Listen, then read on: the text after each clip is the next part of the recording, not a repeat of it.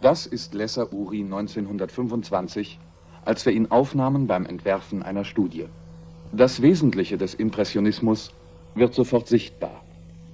Statt Struktur oder Wuchs der Bäume sachlich wiederzugeben, deutet er sie als Masse mit breiten Wischern an. Und dann tupft er unvermittelt die Kutschen hin.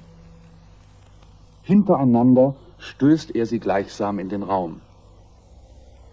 Typisch für den Zeichenvorgang ist das kurze Stückchen Kohle, das zwischen Zeigefinger und Daumen kaum sichtbar wird.